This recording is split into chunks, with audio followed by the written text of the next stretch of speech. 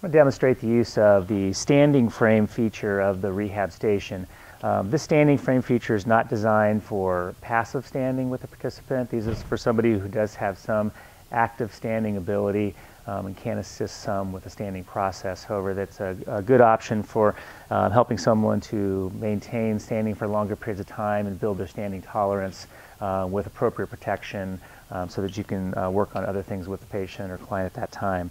Um, so a couple things we can do with the standing frame harness that uh, basically wraps around the patient's um, um, uh, butt and um, provides the support needed to hold them in place. Um, one option to get this in place is just to lay it into the chair first in this fashion here. With the red buckle here on the right and the blue on the left here down between the legs and actually then transfer the patient into the chair onto the, um, onto the harness itself uh, for easier positioning. Uh, I'm going to demonstrate and show you the position of the harness um, in a standing position here first um, so that we can show you the proper positioning before we sit down. So come on over here. Um, so the harness is going to be, go ahead turn that way. It's placed underneath, around the patient and there's a uh, belt here, waist belt that we're going to go ahead and clip in place. There's two uh, metal rings here that we want those evenly placed um, on each side. We can just snug this. doesn't have to be too secure. It's just going to hold the harness in place so that it doesn't flop around. You can see there are leg pieces that come up between the legs and provide some security so the harness will not slip up in a standing position.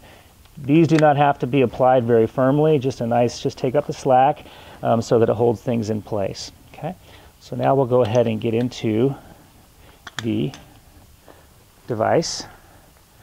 So go ahead and place that there and have a seat.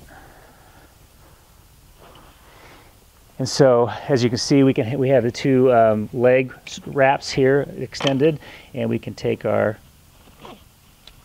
red and clip into the red indicated strap. Take our blue clip into our blue indicated strap. Oops.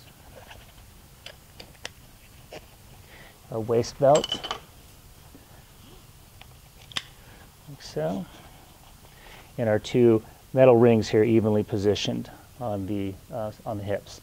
So we're going to go ahead and take our wheelchair, move it into position. And we're going to bring the client so their, their knees are close to or near the um, knee pad is, that has been positioned. Um, before I do that, let me go ahead and show positioning of the knee pad itself. Let me go ahead and pull you back out. So the knee pad is a separate uh, purchase that can be uh, um, done at a separate time to add to the unit if needed. Um, so it's got some extensions here that have little notches in those, and you just hold onto the handles and place the um, extensions into two slots here on the inside of the unit and adjust the length by which slot those hook into. So right now I have it in its fully extended position, so it's going to be further out. So.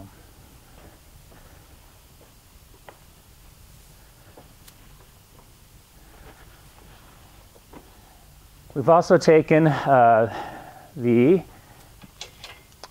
rope system that is typically hanging from the device here for use with the harness for balance support. These are also can be used for the standing frame feature. In this case, we're going to go ahead and take these, and we're going to take the side that has this blue ropeman on it, and we're going to hook it into the device on typically the number three attachment point on the side here. And I'm also going to take my handles here and just lower them or raise them a little bit, adjusting so for the patient's height. But so I also have access to this number three Uh, attachment point. So I have this just slightly lower than that so I can get easy access to this. So I have it draped here.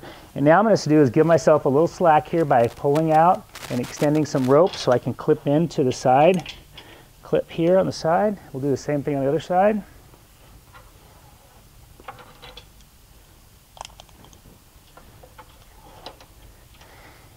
So now what we'll do is we can help the client as they go to stand up. So lean forward, and I can grab the bottom of the belt here, and we're to go ahead and stand up. So go ahead and pull up, and I can take up some slack on one side, like so. Do the same on the other side. And then to take up any extra slack that might be in the system, I'm going to hold the, the, the ropeman here and then just pull any extra slack in like that in place Same thing on the other side. Okay. And so now we've secured the uh, patient so that they can work on any other activities, standing tolerance, upper extremity activities in the device, and they are protected from, from falling at this point.